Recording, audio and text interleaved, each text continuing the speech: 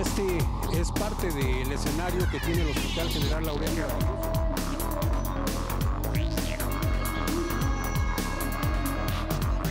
Pero pido justicia, una justicia social, de leyes.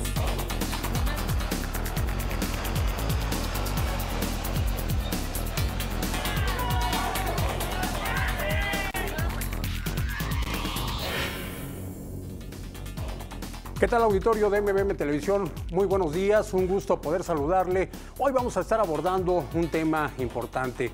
San Juan Jocochocón Mijes es una población enclavada precisamente en esta sierra, en esta sierra Mije es una comunidad con poco más de 3.700 habitantes que en el ambiente político se rige por su sistema de usos y costumbres. Hace un año exactamente esta población vivió su jornada electoral. Los candidatos que participaron para dirigir el destino de esta población pues habían alertado ya de condiciones un tanto inestables que había. Autoridades tuvieron conocimiento de, este, de esta llamada temprana que se hizo. Sin embargo, bueno, ¿qué fue lo que sucedió una vez que concluyó el proceso electoral? Pues se desató un clima de inestabilidad en la población y precisamente a un año de distancia, ¿qué es lo que ha pasado luego de un operativo que realizaron autoridades estatales eh, para poder restablecer el orden en esta población? Hay personas que perdieron la vida durante esta intervención policíaca. Hay personas que no han podido regresar a su población desde entonces. Vamos hoy a conocer qué es lo que ha sucedido en San Juan Cochocón a un año de distancia precisamente de estos acontecimientos. Antes que nada, auditorio, le recuerdo que para nosotros su participación es sumamente importante. Le dejo un teléfono que tenemos en el estudio 205-6300 y para mensajes de texto 951-172-5797.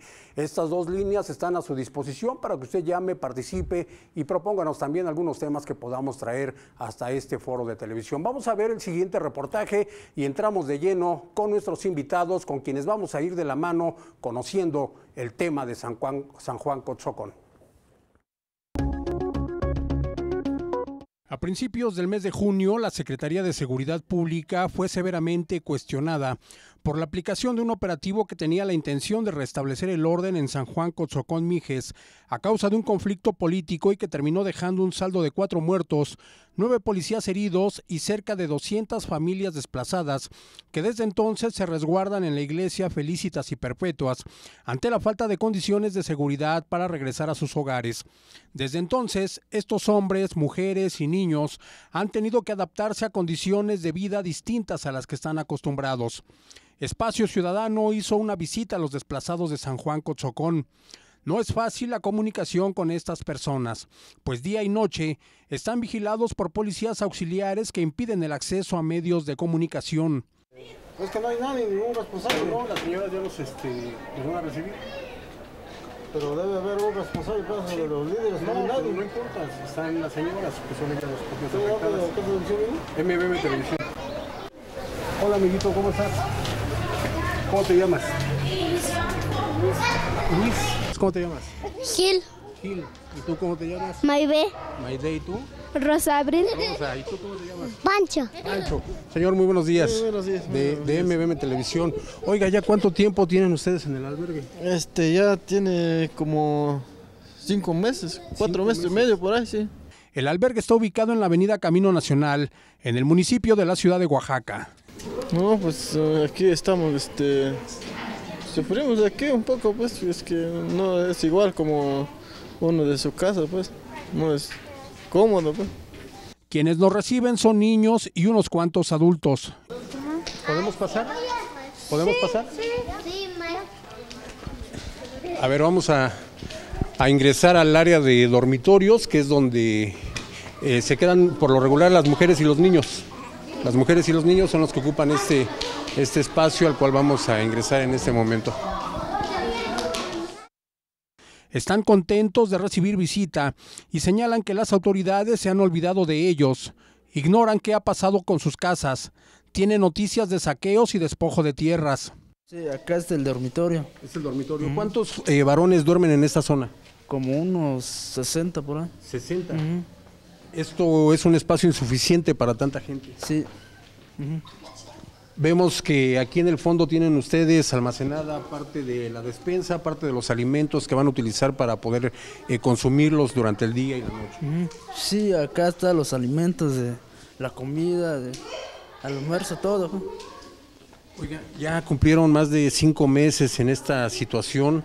Eh, ¿Hay alguna fecha? ¿Ya les han informado cuándo van a regresar a su pueblo? Pues todavía no nos han informado, ya llevamos como 6, 7 meses por acá y no nos han dado respuestas. Ya, ya estamos incómodos acá. ¿Usted estudia? Estudiaba, pero ya no. Por esta situación tuvo que suspender sus estudios. ¿Hasta qué grado se quedó? Mm, Ya iba a entrar en tercer semestre. En tercer semestre de bachillerato. Oiga, vemos que hay muchos niños en, en este albergue. Eh, la mayoría de ellos no van al kinder, no van a la escuela. Algunos, algunos, Más o menos cuántos eh, menores de edad son los que habitan aquí. como unos 40 o 50 por ahí. 40 o 50 menores y mujeres. Igual como 60. 60. Estamos hablando de prácticamente 180 personas las que están eh, utilizando el albergue. Así. Estamos viendo que en esta zona pues tienen almacenado parte de, de los, alimentos que van a utilizar, avena, eh, algunos cereales, eh, huevos, maíz, eh, maseca que van a utilizar para la preparación de las tortillas, lentejas, frijol, harina de maíz, atún, sardina y bueno, algunos eh, frascos con, con aceite para poder guisar y preparar sus, sus alimentos. Estas son las son los colchones que utilizan para dormir, ¿verdad? Sí, ¿Cómo te sientes en el albergue, mija? muy bonito. Muy bonito. ¿Tú vas a la escuela? Sí, Sí. ¿En qué año vas? tercero. En tercer año. ¿Sí sabes por qué estás aquí? Sí, ¿Por qué estás aquí? No sabes. Bien. Algunos de los niños en edad escolar cursan el preescolar en escuelas de cinco señores. Son otros de, de, los- de las colchonetas que utilizan para, para dormir. Son más de 60 los hombres que habitan este espacio de unos 10 por 10 metros aproximadamente. Ya lo hemos escuchado de voz de uno de los habitantes de San Juan Cotzocón, el espacio realmente insuficiente y se sienten ya incómodos después de casi cinco meses de permanecer en este lugar. El alimento comienza a escasear. Arroz con huevo duro. Arroz con huevo duro. Esto Sí, es para la comida. Ajá. En la mañana, ¿qué desayunaron? Nomás ah, lenteja. Lentejas. Y para la noche, ¿qué es lo que van a preparar para comer? Amarillo de chayote, así hacemos. Amarillo de chayote. Porque no, no hay nada, ya no hay café molido para preparar café, no hay leche, no hay nada. Ajá. Es- Escasean los alimentos. Ajá, sí, ya no hay. Las condiciones de vida en que conviven estas familias no son las más adecuadas, pero aún así ya cumplieron cinco meses en el albergue. Hay instrucciones de evitar que los medios de comunicación tengan contacto con los desplazados. Venimos a verlos nuevamente porque pues ya tienen mucho tiempo por acá y no les dan solución a su... ¿Por qué, perdón? ¿Por qué? Tenemos orden nosotros, no. ¿Orden de quién? De ahí del. No, o sea, no. me- ¿Pero orden de quién? O sea, no, no puede estar grabando. De allá del. De los líderes del, del gobierno, yo me supongo. El gobierno le dio la orden a usted. Bueno, o sea, nuestro director. ¿Quién es su director? No, o sea, o sea, pero es que, o sea, ¿Pero quién es su director? ¿Quién le dijo que no podemos entrar a platicar con ellos? Eh, bueno, la cocina que tenemos nosotros es que no, o sea, lo tienen que autorizar, pues. Pero a usted, eh, ¿quién le dio la orden de que los medios de comunicación no pueden ingresar? Allá en la cuartel, ¿En el cuartel? ¿Qué fue lo que le dijeron? que, que este, negativo con los reporteros. ¿Por qué? ¿Cuál es, la- Ah, ah, no sé yo. Ya no, no, la verdad no. ¿Cuál es su nombre oficial? Este, Rodolfo. Rodolfo. Muy bien, oficial. Gracias, ya nos vamos ahorita. Sí, pero o sea, lo que.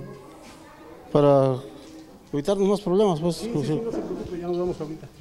Son las víctimas colaterales de un conflicto político en el que se utilizó la fuerza pública para tratar de solucionarlo. Con información de MBM Televisión, imágenes de Citlali Aragón.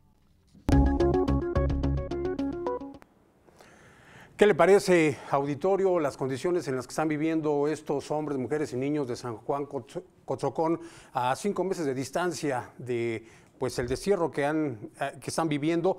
Bueno, para conocer hoy del tema, quiero darle la más cordial bienvenida a nuestros invitados del día de hoy. Pedro Matías Arrazola, periodista, corresponsal de proceso, un hombre experimentado en los medios de comunicación, pero también conocedor de muchos temas de tipo social, ¿verdad? Pedro Matías, muchísimo gusto en poder acompañarte. También nos acompaña el día de hoy Cornelio Luciano Cruz, él es uno de los desplazados de San Juan Cochocón. Y por supuesto, José Omar Nolasco Díaz, desplazado de San Juan Cochocón. Bienvenido, José Nolasco. Muchísimas gracias. Bueno, cinco meses de distancia cinco meses viviendo en esas condiciones. Eh, Cornelio. Cornelio, Cornelio, cinco meses viviendo en estas condiciones de, pues prácticamente de hacinamiento en ese albergue. Sí, don Pedro, Pedro. El compañero Pedro, Matías, corresponsal de proceso, Juan Antonio Leza. disculpe, mm, buenos días a todo el auditorio eh, pues me da mucho gusto de brindarme esta oportunidad, este espacio eh, que tanto tiempo hemos estado sin acercarnos a los medios de comunicación, tanto tiempo hemos estado sin acercarnos al gobierno que están comisionados a la conciliación del problema ¿Por qué, se, ¿Por qué se ha dejado pasar tanto tiempo para llegar a la solución a un conflicto de, tipo político-social que ha presentado esta comunidad? Claramente entendemos de que pues hay ciertos intereses de parte de la General de Gobierno, eh, de que ellos se conforman de que ya está la gente allá tranquilo.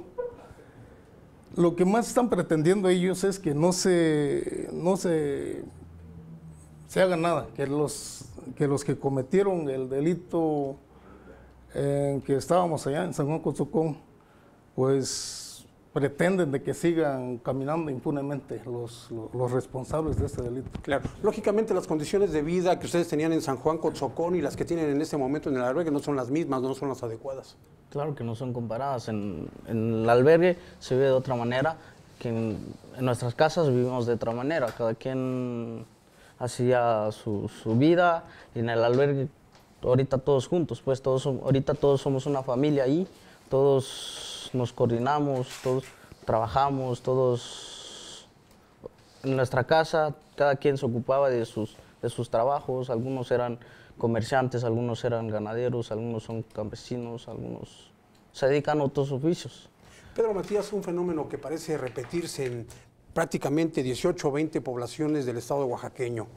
Sí, es lamentable que los partidos políticos eh, eh, se repartan a las comunidades sin importarle eh, las condiciones de ellos o la vida de las personas que habitan en esas comunidades.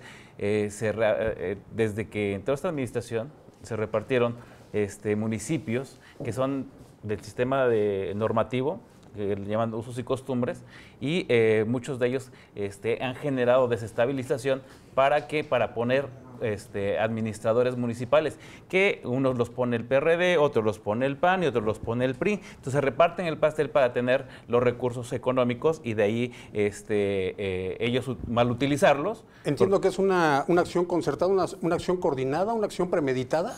Pues pareciera que sí, ¿no? E, es, un caso inédito que se da en el país. Solamente en, Oaxaca se realiza ese tipo de componendas políticas para este, eh, repartirse eh, los recursos a través de las administraciones municipales. Eh, eh, y en esto pues generan eh, desestabilización, ingobernabilidad en varios municipios, sin importarle que en ellos también se vaya la vida de algunas personas, ¿no? Como en el caso de San Juan Cochuco. Vamos a hacer una pequeña pausa a, nuestros invitados auditorio, regresamos de inmediato, estamos transmitiendo Espacio Ciudadano a, a través del canal 143 de cable y claro, a través de internet www.mbmtelevisión.com.